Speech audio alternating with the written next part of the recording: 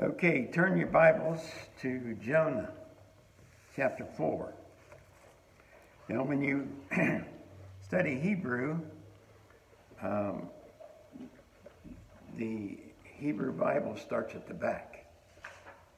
So, a lot of times when you see uh, teachings that are found in the Old Testament, the main purpose um, is seen towards the end instead of the beginning, which is opposite of what the Greek is. So um, we want to look at uh, Jonah, and I want to preach on the subject of a prepared God. He's prepared to, and his purpose to save sinners and to send his uh, prophets into the land to preach the gospel of salvation to the Ninevites. In the fourth chapter here, we're going to turn and look into it. And, you know, I've studied this book many times, and I've seen these things here, but it didn't all come in and click like it uh, has for this message tonight. A prepared God uh, is, uh, is a very important sovereign God. He says in verse 1 here, But it pleased Jonah exceedingly, and he was very angry. Now, he was angry because God saved 60,000 people, and they had a big revival and, and everything. So I, am starting here to show you the attitude, the pride, the arrogancy, uh, and the things, and you understand the rest of it when we get into it there, when we come down uh, to the message uh, as it is. He goes on and says here, and he prayed unto the Lord and said, I pray thee, O Lord, was not this my saying? When I was yet in my country. Therefore I fled before, and uh, I fled before unto Tarsus, for I knew that thou art a gracious God and merciful, slow to anger, and great kindness, and repentest thee of the evil. In other words, he had a confrontation with God in the first call. And of course, I believe there's two calls involved here. The worst one, the first one, was uh, not. Uh, the effectual call, it was, uh, and again, it's parallel in showing you what happens in the different callings. When God effectually calls uh, someone to preach, that affects, lasts uh, until the Lord decides to change that, and usually it's till death. So we find the importance of what he's going to uh, show us in the scriptures here. And we're going to see that Jonah is going to uh, to play out his attitude. He had great pride and arrogancy here, and uh, and the salvation that you're going to hear him cry out for, I believe, is also a secondary area there that he had to accept that God was in control of the salvation, and uh, he's going to do his purpose and plan to save sinners, and these Ninevites were going to be saved. So, in seeing a prepared God uh, let's go over to the first chapter now get into uh, what he's, uh, uh what he's uh, uh, about to do for the Ninevites. In verse 1, he says, How now the word of the Lord came unto Jonah, the son of Amittai, saying, Arise, go to Nineveh, a great city, and cry against it, for their wickedness is come up before me. So we see in verse 1, there is a prepared prophet he went to him and gave a call to him. Now, the call, when it is the general call, is not effective as the effective call. I guess that's probably logical, but uh, uh, we see here he went to, uh, and really he's rehearsing what he said in the fourth chapter there. Uh, and, and the reaction of him in this. There was no submission there, there was no uh, willingness to uh, obey or anything of this nature that is a part of the effectual call. But the, we see him receiving the call here, and then we see that there's a prepared people. Now, you're going to see some of these uh, preparedness of, of God. Uh, he's being prepared to be revealed, and others that he didn't reveal. So God's purpose is working in the unseen area as well as the revealed area.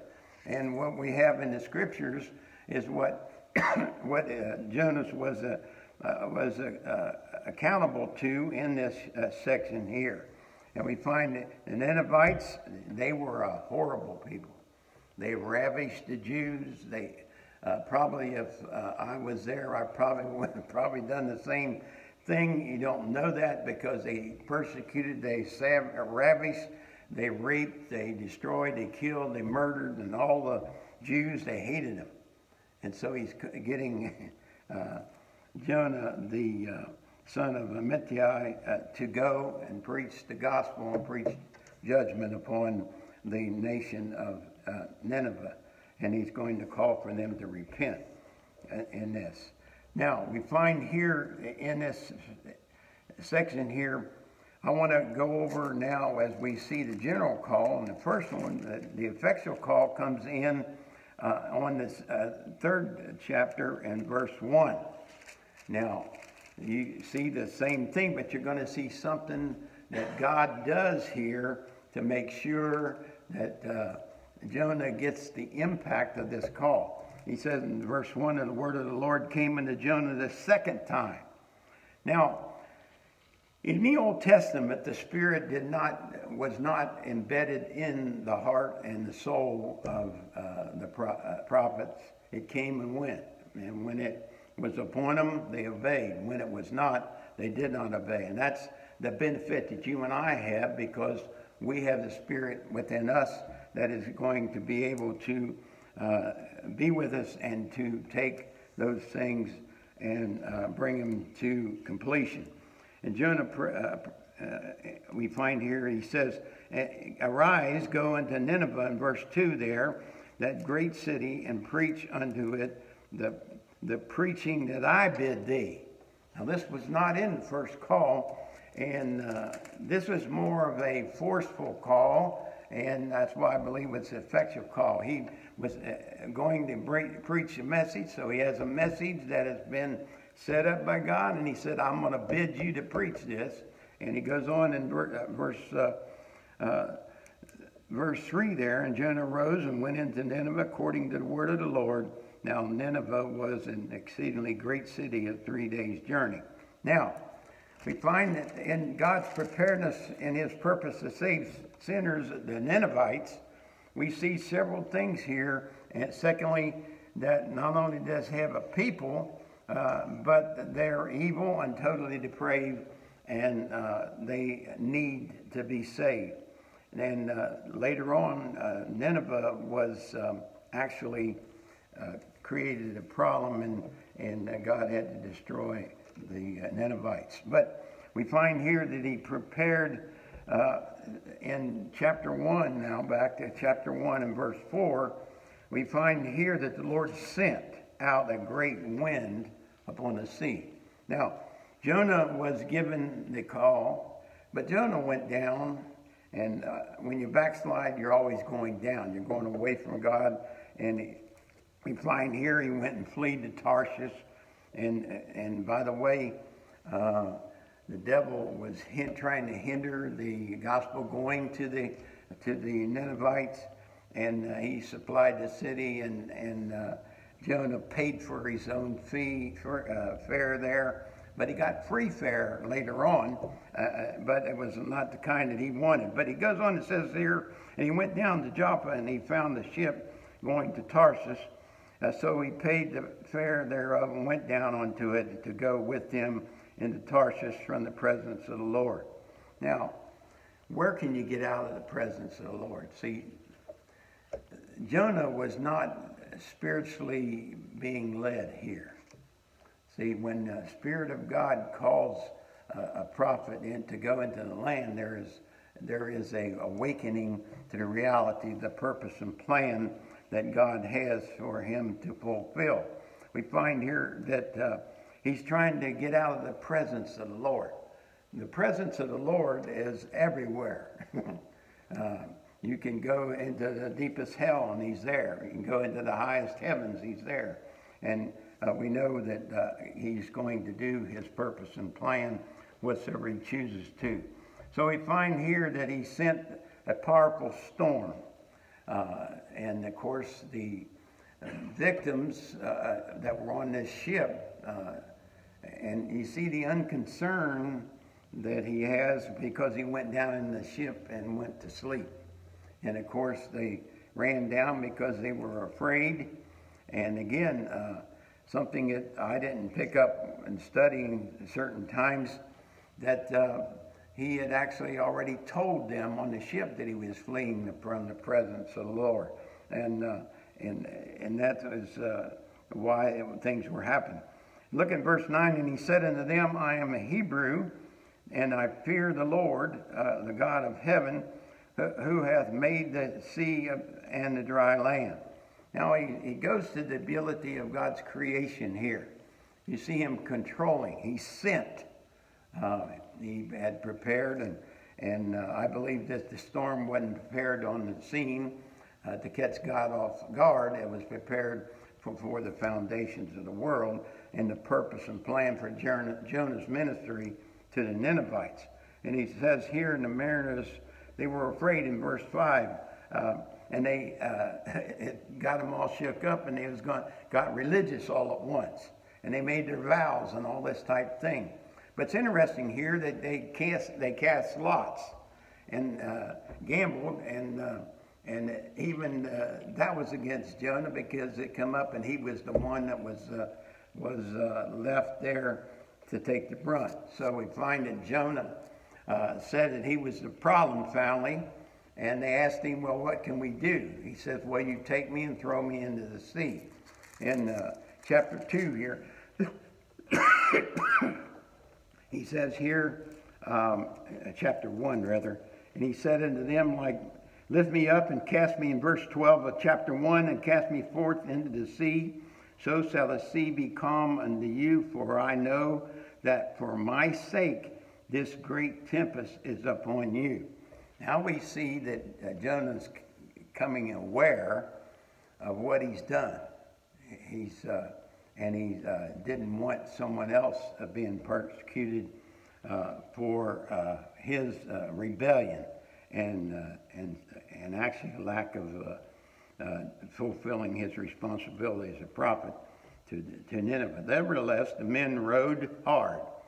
Now you notice here, they uh, they got the problem solved, and but they didn't know the God that was dealing with uh, Jonah, so they tried to take things in their own hands and try to row away, and they could not. They couldn't even go anywhere. And we find here that they could not, for the sea was wrought, in verse 13 there, in the tempest against them. Wherefore they uh, cried unto the Lord and said, We beseech thee, we beseech thee, let us not perish uh, for this man's life, and lay not upon us innocent blood, for thou, O Lord, have done it uh, as it pleased thee. In verse 15, and they took up Jonah and cast him into the sea, and the sea uh, uh, ceased from its raging.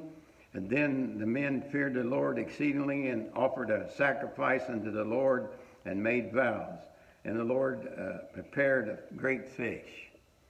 Now, this fish was on a, on a pattern and, and a destination to swallow a prophet. Um, you can see God in control of all of the things around Jonah's rebellion, and uh, he's prepared the consequences for Jonah for, uh, for not uh, yielding to the call to go to Nineveh. And he said, The Lord prepared a great fish to swallow up Jonah. And Jonah was in the belly of the fish three days and three nights. Now, this is important here because Jonah was an unlikely uh, prophet that would be used as a great sign for for the um, uh, for the last days when uh, Jesus Christ would go to the cross there. And of course, this is a prophetic call, and that would be a sign to the Jews here. Look, oh, Matthew chapter 12, if you would. Matthew chapter 12, in verse 39 through verse 41. Matthew 12, uh, 39 through 41.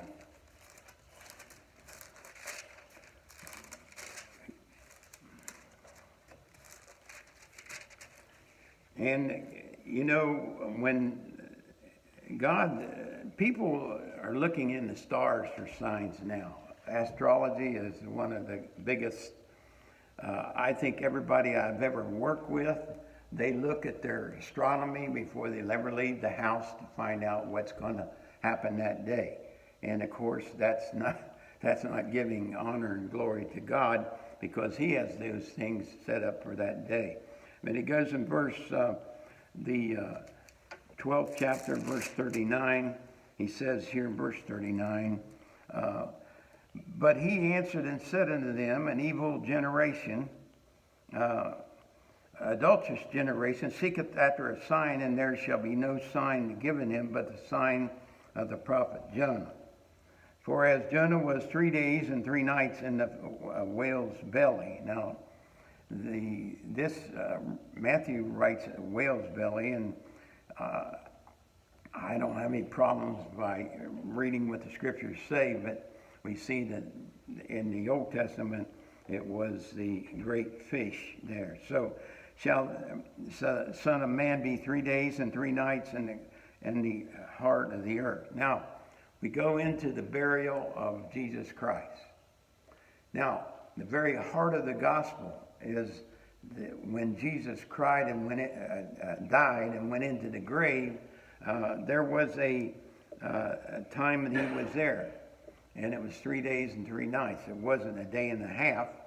And if when I look at the scriptures, if you look at a gospel that uh, is centered around the death, burial, resurrection in the 15th chapter of 1 Corinthians, it says there that Jesus what he died and was buried according to the scripture, and uh, and he arose again the third day, and the third day is the third day. So that makes him being crucified on a late Wednesday night and uh, rising early uh, on the uh, first day of the week. And of course, that's an important factor of the gospel.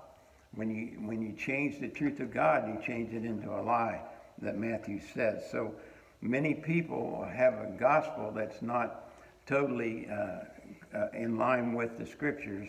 And of course, these are three little days, 72 hours is what was involved here. And of course, Jonah, was even in his rebellious uh, attitude and, and, uh, and his uh, ministry to the Ninevites and how that he did what he did, uh, God uh, used him as an example of a prophetic uh, acknowledgement of the death, burial, resurrection of Jesus Christ. And his death in the grave before he come forth was three days and three nights. Now, not only was there a storm and a great fish brought forth, we find here that when, when he came forth out of the grave, now, about um, 20 years ago, I guess it's been now, they uh, had found a uh, whale or a uh, yeah, whale that had uh, had a, a person inside it. And uh, when they're in there three days and three nights, the digestive juices begin to uh, work upon the skin and, and pulling the uh, and beginning to dissolve the body so that they can digest what they swallowed. And of course, uh, with him being in there three days and three nights, uh, he, when uh, when the, he was spewed out upon the on land here in let's go to chapter 2, verse 1 there. And Jonah prayed unto the Lord, his uh, God out of the belly, fish's belly, and uh, said, I cried by reason of mine affliction unto the Lord, and heard me out of the belly of hell, uh, cried I, and thou heardest my voice. He says, For thou hast cast me into the deep, in the midst of the sea, and uh, and the floods compassed me about, all the, thy billows and thy waves passed over me. And I said, I cast out of thy sight, yet I will look uh, again towards the holy temple. Now you remember this is a saying that Daniel did. He went and looked toward Jerusalem, the holy temple, and prayed. So now we find Jonah getting serious about things. And it took some uh, pressures by God and providential uh, uh, dealings with the, uh, with the prophet here. And he says here, and the waters compass me about, and even to, to the soul, the depth closed me, close me round about, the weeds were wrapped around my head. This is a scene of him being in the belly. Now, this seems to indicate that, uh, and I did some uh, looking up of a uh, sperm whale, uh, the uh, taking in of the water in the mouth and then spewing out the top. And this could have been the way, uh, because when he spewed Jonah out of his belly, he can't hit on dry land and was uh, running towards Nineveh to preach the gospel like he's supposed to. Waters confessed me about it. Goes on in verse 6 I went down to the bottoms of the mountains, the earth with the bars uh, was about me forever, yet hast thou brought up my uh, life from corruption, O Lord my God. Uh, when my uh, soul fainted within me, I remembered the Lord, and my prayer uh, came in unto thee and unto thy holy temple.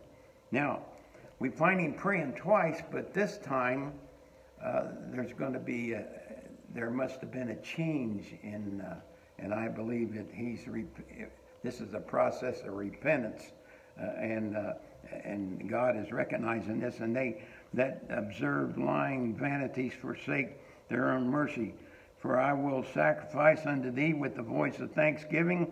I will pay that I have uh, uh, vowed salvation is the Lord. Now, truly salvation is of the Lord, and it's in the effectual working upon lost sinners. And uh, Jonah was a prophet, and he was a uh, righteous man. So we find there's a twofold application here. The application is that Jonah really realized that uh, that God had a right to take his salvation and send him to preach to the people that he purposed to preach to, that they would be saved. And of course, the, the scriptures always have two meanings uh, in this. And he says, And if the Lord spake unto the fish and vomited out uh, Jonah upon dry land.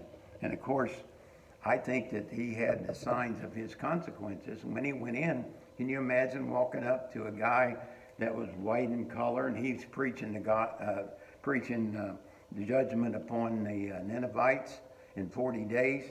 Uh, well, this is what was taking place.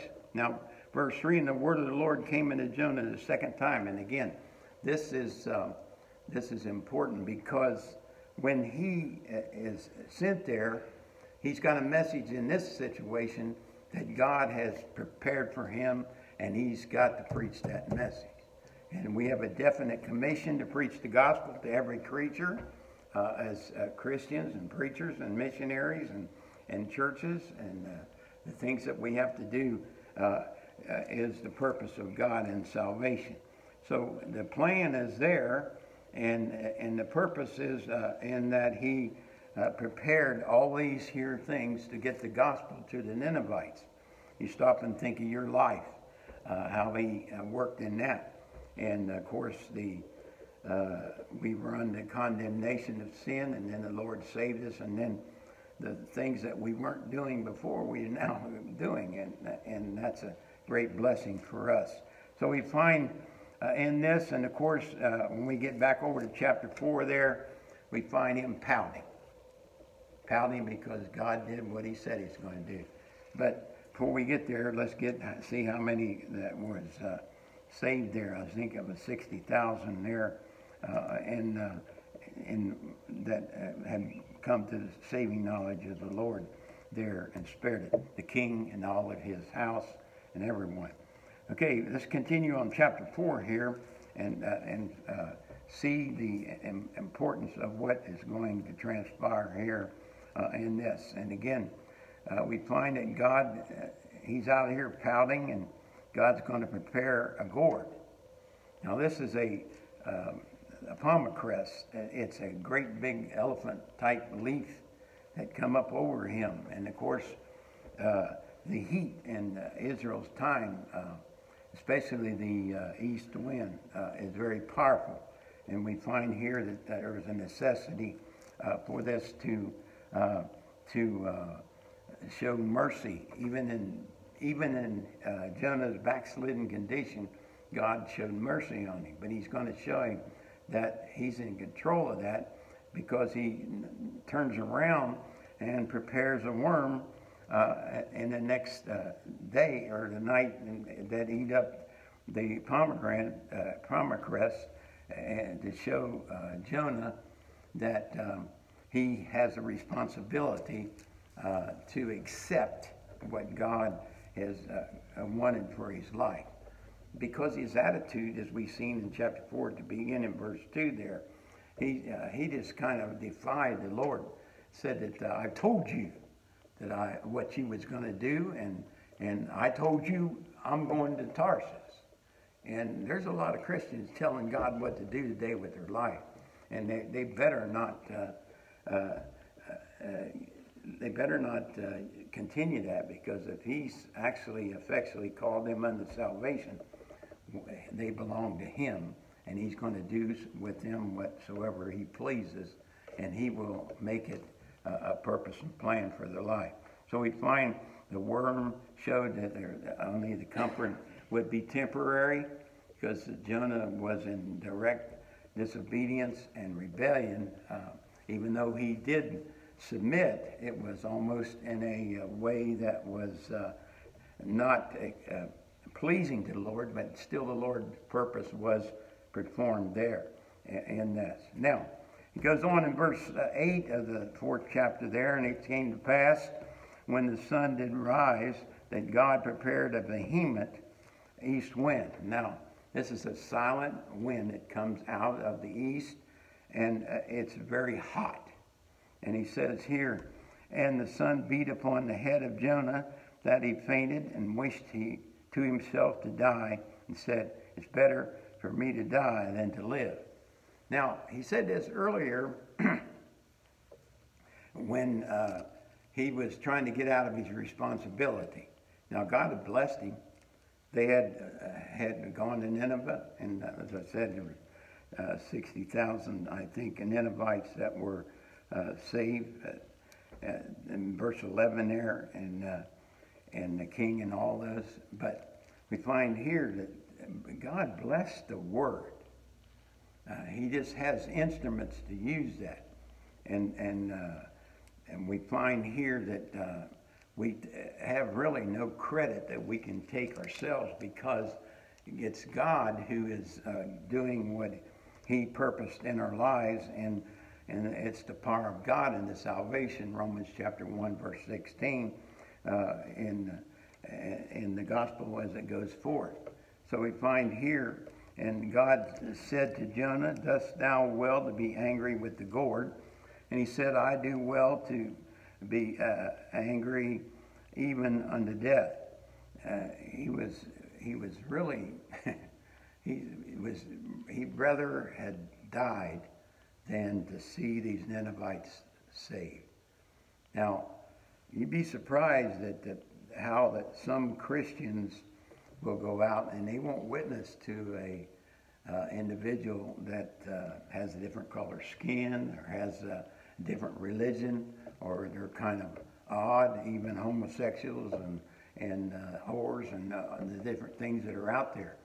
But the, the Lord uh, it shows us in Jonah that God, if He's purposed to save a people and He's sending us to go there, and that's here at West Jefferson, uh, that the gospel will go forth to those that are here. So He must have some people in this city that we need to take the gospel to, and that's a, a wonderful blessing. He has placed the building here.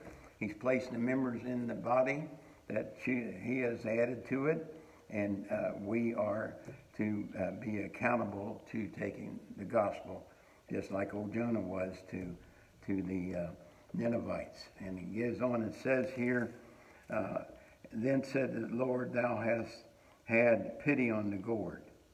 We we you see, Jonah's spirituality was showing pity on the wrong objects. Instead of pity on the Ninevites because they were dying and going to hell and needed to be saved, he had the gospel, uh, he had the uh, uh, preached the word that they needed to repent because 40 days the Lord was going to come and to uh, uh, destroy them. And they responded and repented and God uh, showed mercy upon them. And, and he goes on, it says here, he says, he says in verse 11, And should not I spare Nineveh, the great city?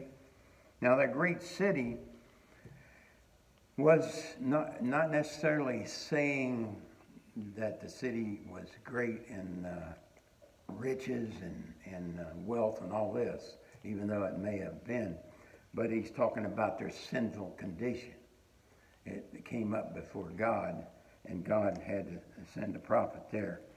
And he says here we're in more than six, six score. Uh, that's, uh, I think it scores 10, uh, 10 years, uh, or 10.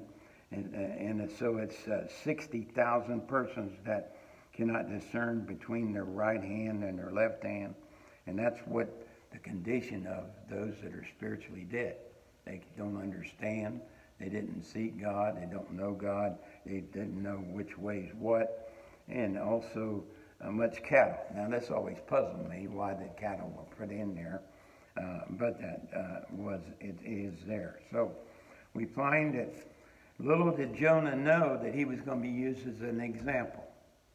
Now, God can use anybody for an example. Uh, he's used different ones throughout the Bible uh, as examples. And in this case, uh, the example was not to the greatest degree of fulfilling the purpose of God until God took charge and brought it to uh, fruition. Uh, we find that God uh, did do and save those that they were supposed to go, that Jonah was supposed to go to. So we find here that uh, the purpose of God was fulfilled, but the greater purpose was to be an example of uh, uh, Christ being in the grave three days and three nights and without a gospel, and of course the resurrection was at that 72 hour, and it was a uh, it was a sign to uh, the Jews, and uh, the uh, people today are looking more for signs than they are for the coming of the Lord, and and I think that we as uh, Christians have that great responsibility um, to do that, and so. Jonah is a great example of what God's going to do, regardless uh, if we rebel against Him, whatever it is, and because He is He is God, He is the Lord, and He is uh, all powerful. He's all knowing and all present. You can't get out of His presence. You can run when the Lord's working uh, for you, uh, salvation and the calling, or whatever it may be. He's going to deal with that because He is God. And of course, I hope the Lord blesses you with this. I'm kind of new at this here.